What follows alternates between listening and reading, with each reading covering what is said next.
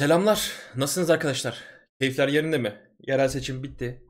Ee, şimdi artık dönmemiz lazım bence. İşte tabii yeni belediye başkanları işte makamlarını, konumlarını alacaklar. Bütün ülke için umarım her şey daha güzel olur. Umarım her şey keyifli olur. Daha hayırlısı olsun abi. Hepimize yarasın yani. Ben benim başından beri istediğim şey hep bu aslında. Hani bir şey oluyorsa herkese yarasın. Böyle toplum olarak, ülke olarak bir kalkınalım ama böyle hani hep o bölünmüşlük var ya böyle hayır oluyorsa biz olsun ötekiler pislik falan. Ben o yapıda değilim. Ben ya bir şey oluyorsa abi herkese yarasın. insanlar da bazı doğruları yanlışları görsünler. Ben bunu istiyordum. O yüzden fazla uzatmayacağım bunu. Hayırlısı olsun. Ben Bursa için en azından kendim memnunum. Ee, umarım bütün Bursalıları için e, hayırlı olur. Onu da söyleyeyim. Ee, keyifliydi. Güzel bir e, ben gece geçirdim. Güzel de bir yayın yaptım dün. İzlemeyenler varsa onu da izlesinler. Ufufu ile ilgili. İlginç, güzel, çok güzel bir yayındı bence. Şimdi bugün de birazcık söz verdiğim bir içerik vardı. Söz verdiğim arkadaşı da buradan şey yapacağım. Ben e, bu konuyla ilgili hmm, gel bak. Konu zaten şuydu. Enes abi içerik yapar mısın bu konuyla ilgili? Hala romanın kazanacağını düşünenler insanlar var. Ben yarın yapacağım diye. Ben bu arkadaşa Hüseyin herhalde adı. E, söz verdim. Konumuz da bu işte. Şimdi ben bunu burada gördüm. Şeyde gördüm. Twitter'da gördüm. Paylaştım. Twitter'da da paylaştım. Orada biraz daha tabii geyik e, cevapları verirse de uh, telif yemeyelim videolardan. ben buradan devam edeceğim şimdi yoluma. Şimdi arkadaşlar olay şu. Cody Rhodes WWE ile yeni sözleşme imzaladı. Bunu da Justin Walker YouTube'da e, bu internete yayıldı şimdi. Bu iki gün öncenin haberi. Ben bunu iki gün önce paylaştım. Dün tabii seçim falan böyle o şey varken e, ya ben zaten yoğundum. Üzerine ekstradan e, işim vardı. Yayın vardı akşamda o yüzden yapamadım içeriğini. Şimdi yapıyorum ama en azından bugün iki video olur. Enzo TV'de de Onat gel- geliyor. Onu da mutlaka izleyin. Keyifli bir sohbet oldu çünkü bu sefer biraz daha hani alışmışın e, sırf sadece WWE konuşmadığımız bir sohbet oldu. Keyifli e, izlemeler şimdiden. Bu videoyu direkt çekip yayınlayacağım. Onu da söyleyeyim. Ben herhangi bir şey yok yani. Çekeceğim yayınlayacağım direkt. Muhtemelen siz bu videoyu kanalda gördüğünüzde herhalde bir yarım saat içinde falan çekip atmışımdır diye düşünüyorum. Şimdi burada e, olay bu. Cody Rhodes'un WWE sözleşme imzalaması. Şimdi bu benim yorumum şeydi. 5 yıl şirketin şirket yüzü oldu diye yorumladım dedim. Şimdi neden? Abi Cody Rhodes şirkete ne zaman getir geri döndü? WrestleMania 38'de. 2022 yılının WrestleMania'sında. Şimdi 2024'ün WrestleMania. Yani aslında ikinci yılını tamamlıyor şu an. Bu ile beraber şirketteki ikinci yılını tamamlıyor. Hatta 9 aylık bir ya 9 ya 10'du yanlış hatırlamıyorsam sakat geçirdiği bir süreç var. Şimdi Rhodes mesela bu sakat geçirdiği süreçte şirkette devam edebilseydi muhtemelen WrestleMania 39'da Roman'a daha güçlü gelecekti ama ben yine de kazanacağını düşünmüyordum. Rumble kazanıp kendini pekiştirmiş bir Cody nasıl olurdu? Şimdi ikinciyi kazandı. Ee, müthiş. Ya yani ben çok başarılı buluyorum Cody'nin bu sürecini.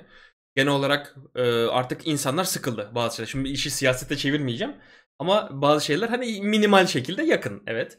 E, uzun süredir başımız e, masanın başında olan bir Roman Reigns var. Abi dur bak bu sohbet tadında şu an keyifli. E, Roman çok uzun süredir e, tepesinde. WWE'nin tepesinde ve bir şeylerin değişmesi gerekiyor. Ama bir rakip yani. Şimdi insanların böyle içine sinen biri olması lazımdı. Daha önce yenmesi Seth Rollins olabilir mi? Evet önemli. Mesela Randy Orton. Aslına bakarsanız artık legend statüsünde bir olan Randy Orton'dan ziyade böyle hani daha yeni bir yüz ya da şirkette yükselmiş ya da son yıllarda işte adından söz ettirilmiş birinin bunu yapması bence daha doğru olan taraftı. Ve Cody de aslında WrestleMania 38'de geri getirilirken şirkete Vince McMahon bizzat kendisi kapısını çaldı bu arada. Gel dedi kontrat imzalandı falan. İkinci yılında yeni sözleşme imzalıyor. Bakın bu çok önemli bir şey. Siz güvendiğiniz bir adamla kontrat imzalarsınız. Bak Kevin Owens'la Sami Zayn. AEW'ye gidiyorlardı belki de. Şirketten ayrılacağı yönünde haberler vardı. Ta ne zaman önce geçen sene falandı yani.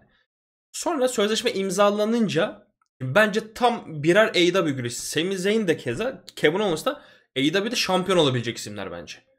Mesela şimdi günümüzde AJ Styles'in sözleşme imzalayıp imzalamadığı yönünde haberler var. AJ direkt AEW şampiyonu. Bak çok da isterim mesela anladın mı? Eğer WWE'de AJ böyle rölantiye takılacak takılacaksa ben gidip AEW'ye gelip orada önemli şeyler yapmasını daha çok isterim. Ben böyle düşünüyorum. Bak Cody Rhodes da kariyer dönüşümüdür. Ya hayatının herhalde en önemli olayıydı bence WWE geri dönüşü. Şu an işleniyor ve abi seçildi tamam mı? Ama ben şunu da görebiliyorum. Şimdi Vince McMahon tarafından seçilmiş biri olursun. Ondan sonra Vince dönemi biter. ar- Arka plana çekilebilirsin. Bakın buna örnekler var. Zamanında da var, günümüzde de yakın zaman. Mesela Austin Theory en büyük örneğidir bence yakın zamanda. Vince McMahon'ın bizzat kendi seçtiği kişiydi. Bizzat hikaye girdiği kişi. Oğlum bu bir güreşçi için çok büyük olay oğlum. Nimet lan. Vince McMahon'le bizzat hikayenin içinde olmak yani. Austin Theory böyle biriydi. Money in the Bank kazandığı United States şampiyonlukları var. Ama ne oldu sonuçta? Bay bay. Yani iyice düştü. Ha ileriye dönük bir şeyler olur mu? Bence olabilir. Kesinlikle hala umutsuz değilim o konuda. Ama Cody çok büyük. Cody'ninki böyle Austin Theory gibi genç işte gelen biri değil. Cody zaten kendini kanıtlamış biriydi. Ama işte kendini kanıtlamış biri diye ben WWE dışında kullanırım. Çünkü WWE'deyken e, işte o mid card, upper mid card olayları falan var diye. Bence çok ben başarılı buluyorum. İşte Dashing Cody. Hatta öncesinde Legacy'de mesela. Legacy'den de önce aslında Bob Holly ile beraber, Hardcore Holly ile e, tag teamlerdi.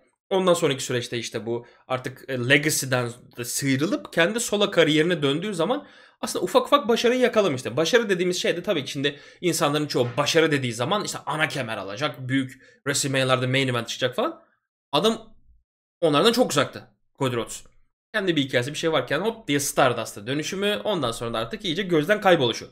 Ama bu adam WWE'den gittikten sonra adam oldu işte. Bu adam dünyanın bir sürü yerinde güreşti. Yani çok önemli yerlerde, çok önemli promotionlarda, indilerde güreşti, kendini kanıtladı ve AEW'nin bizzat kurucularından da biridir. Ve AEW'daki işte hikayeleri falan e, yuhlanmaları bilmem neleri derken abi baktılar ki Cody. Şimdi bakıyorlar şu an American Nightmare. İşte kendini geliştirdi. Güreşi desen bence Cody çok iyi bir güreşçi. Ee, mikrofon desen aslında güzel bak. İlginç bir şekilde bana Cody'nin eski konuşmaları nedense daha güzel geliyor. Şu anki Cody Cody'yi suçlamıyorum bunda. En tepeye çıktıktan sonra kendini kanıtlayacak bence. Şu an artık çıkma aşamasında ya oraya. Roman'ı yenme aşamasında. Ee, ben öyle görüyorum yani. Çıkma aşamasında ve Cody kendini orada kanıtlayacak. Ve ben ilerleyen yıllarda Cody'yi top seviyede heel turn görmeyi çok istiyorum. Çünkü bu adam her zaman WWE'de yani 30, WrestleMania 38 öncesinde kanıtladığı şeyleri heel olarak kanıtladı kendine. Ve bu sefer top seviyede daha özgür bir mikrofonla heel bir Cody'yi görmek de ileri dönük güzel olacak. İşte şimdi bunların sebebi de bu. Bu haber. Kontrat imzaladı. Ben şu an anlayabiliyorum mesela bu adam rahat bir şekilde 5 senelik kontrat imzalamıştır mesela. Cody Rhodes WWE'nin ilerleyen 5 yılında en top seviyede olabilecek isimlerden bir tanesi. Şirket yüzü olmak çok ağır bir tabir. Çok büyük bir tabir. Ya çünkü ben bunu hep söyledim. Hani ilk defa duyanlar varsa söylüyorum. Şirket yüzü dediğin zaman arkadaşlar şirketteki top face karakter değildir bu. Face nedir? Şimdi face yüz. O değil yani. Eğleniyorum ya. Yani şirket yüzü nedir biliyor musun? Şirket yüzü Hulk Hogan'dır. Şirket yüzü Stone Cold Steve Austin'dır. Şirket yüzü John Cena'dır. Şirket yüzü son dönemin Roman Reigns'idir mesela. Ve bak Roman aralarında en çıtırı kalıyor. Cena'lar, Hogan'lar, Stone Cold'lardan bahsediyorum. O seviyelere çıkmak Cody için muazzam bir başarı olur. Şu anlık ben o kadar yükseleceğini pek zannetmiyorum ama şirketin mesela şeyi olabilir. Bak fark ettiyseniz Bret Hart'ı saymadım arada. Shawn Michaels'ı saymadım. Çünkü Hogan döneminden Stone Cold dönemi araya geçiş süreci bir ge- geçiş süreci harbiden de. New Generation era. Şirketin neredeyse kapanmanın ucundan döndüğü bir yer. Neredeyse kapanacağı bir dönem. Ve oradaki mesela Bret Hart'ı kesinlikle küçümsemiyorum. Bret Hart o dönemin top seviyesiydi. Ama şirket yüzü. Yani o dönem şirkette bir yüz denebilecek seviyede miydi? Bence değildi. Çünkü neden? WCW'nun dönemiydi o. WCW o dönemler inanılmazdı. Hatta 2000'lerin başlarını ya 2001'de gitti. 2000 artık böyle düşüşüdür şeyin WCW'nun. Ondan önceki işte böyle özellikle 94, 95 ve sonrası 2000'e kadar o 5 sene 6 sene WWE muazzamdı.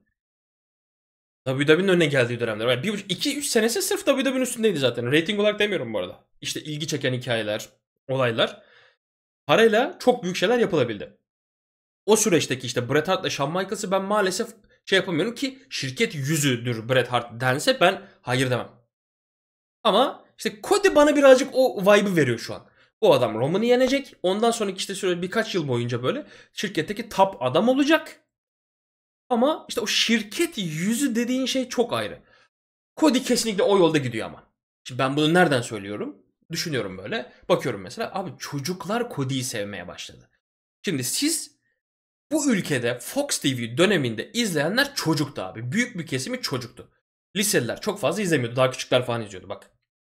Yine hadi liseliler falan da izliyor dönem oldu. Ama siz bu kültürü, siz herhangi bir kültür ya bir takım tutmayı, bir sporu sevdirmeyi, bir müzik dalınla ilgilenmek, hobi herhangi bir şeyi çocuk yaşta edinirsiniz zaten. Ondan sonra pekiştirirsiniz. Siz çocukken aşık olursunuz bir şey. Çocuklar Cody'yi çok sevmeye başladı. Bir Sina elbette değil. Ama düşük bütçeli bir Sina havası veriyor bana. O yüzden de Cody adım adım yükseliyor. Cody şu an en doğru şekilde işleniyor. Rock harika geldi. Rock şu an Cody'yi yükseltiyor. Seyirciler sevmeye başladı ama en önemlisi bir kere daha söylüyorum arkadaşlar. Bu böyle dur PG'dir, MG'dir falan diye değil. Çünkü Cody çıkıp takır takır kötü de konuşabiliyor. Onu da gördük. Hani sadece işte çocuklar seviyor. Sina bir dönemi Sina'nın gerçekten şeydi. Mikrofonda muhteşem olmasına rağmen ya Sina'yı düşünseniz abi. Bak Prime Sina'yı Erzuler'de düşünsene bir. Lütfen. Prime Sina'yı. O mikrofonda Erzuler'de neler yapardı yani anladın mı? Yok ederdi yani mikrofonda. İşte o yüzden de Cody Rhodes şu an biraz daha dönüşüm yaşayan WWE'de PG'ye de takılı kalmıyor bu arada. E bu da güzel bir şey. Hani tabii küfür kıyamet falan yardırmıyor ama direkt de takılı kalmıyorlar. Yani sadece çocuk Gel geldi mi? Ses ses ses ses tam geldi. Yanlış heyecanlanıp mikrofonu yumrukladım burada ya. Sadece çocuklara hitap eden bir Cody yok şu an. İşte o yüzden de Cody'yi daha değerli kılıyor benim gözümde. Cody yükselirken bir kültür yaratıyor belki de çocuklarda. İleriye dönük Cody'ciler olacaklar mesela. Bu bence başarılı bir şey. Başarılı bir hamledir. Ve ben şey düşünmüyorum işte Amerikan bayrağı var ya işte ondan falan. Değil abi o devir geçti bu arada. Hani Cody çıktığı zaman gerçekten bir USA, USA diyor mu? Cody Amerika ile ilgili bir şey söylerse derler. Ama Cody sırf Amerikan kabusu falan diye bilmem ne diye böyle Amerikan bayraklı işte etire'dır konsepti teması o diye çıktığı zaman ben duymadım. USA, USA diye. Ya o zaman söylenirse söylerseniz siz de bunu. Şu an Cody iyi gidiyor. Ee, çok iyi gidiyor. Bence kemeri de alacaktır. Roman'ı yenecektir ve şirketin ilerleyen yıllarındaki en top seviye güreşçi olacaktır. Ben onu görebiliyorum. Roman'ın da uzun bir süre ara vereceğini öngörüyorum. Bu bence çok önemli bir haber. Cody'ye yeni sözleşme yapılması. Çünkü muhtemelen çok iyi bir para alacak. Muhtemelen artık özel jetleri, ıvırdır bunlar da vardır. Ama lütfen bak şu özel jete girildiği zaman ben tüylerim diken diken olmaya başlıyor. Özel jet duyduğun kimler var abi? Brock Lesnar var. Part time. Roman var. Part time. Bak iyi güreşçiler. Çok iyi güreşçiler ama part time mevzusu girdiği zaman ben çok geriliyorum ya. Yani abi anladın mı? O, o ö, özel jet giriyor ya böyle şeye. En iyi güreşçinin özel jet yaparsın. Ama onun böyle şey olmasın. Ne olur bak ileriye dönük. Lütfen Cody'de part timer olmasın. Ben Cody'yi seviyorum böyle her hafta şovlarda falan. O yüzden sözleşme önemlidir. Demek ki diyorlar ki biz bu adamın arkasındayız. Biz bu adama güveniyoruz. Biz bu adamla yolumuza devam edeceğiz. Deyip sözleşme yapıyorlar ki daha 2 yıldır WWE'de şu an. Yani çok uzun süredir değil. Geri döndüğünden beri 2 yıl oldu yani. Ve bunun 9 ayı sakattı. Çok değerli bir kontrat. Ee, yani genel olarak söyleyeceklerim bunlar. Ben artık hani tekrarda düşmek istemiyorum işte Roman'ı yenecektir falan diye. Ama bu hamlenin ben çok büyük olduğunu düşünüyorum. WWE'nin ilerleyen yıllarında biz de WWE izleyicisiysek eğer bu olayın sektörün izleyicisiysek bizim için de çok önemli e, bir olay yani. Sonuçta hani işi siyasete vurursan da ileriye dönük bakarsan hani Cumhurbaşkanı adayı o, olabilecek ya da ne bileyim şir, şirkette diyordum ülkede e, o noktalara gelebilecek hani birileri falan var ya biz de şu an vatandaş olarak mesela nasıl bunlar bizi etkileyecekse burada da bir izleyici olarak bunlar bizi etkileyecek. Çünkü Cody'nin yaptığı şeyler güzelse top seviyedeyken çünkü top seviye gelecek belli. Güzelse biz de mutlu olacağız. Kötüyse biz de eleştireceğiz. Bu kadar. Yani şey yok ama. Cody mi? Cody sözleşme mi imzalamış? Ben güreş izlemem. Ben bırakıyorum. Bende yok bu. Öyle. Çok keyfim yerinde. Kendinize iyi bakın. Görüşürüz. Bütün yorumlarınızı aşağı bekliyorum ama. Bay bay.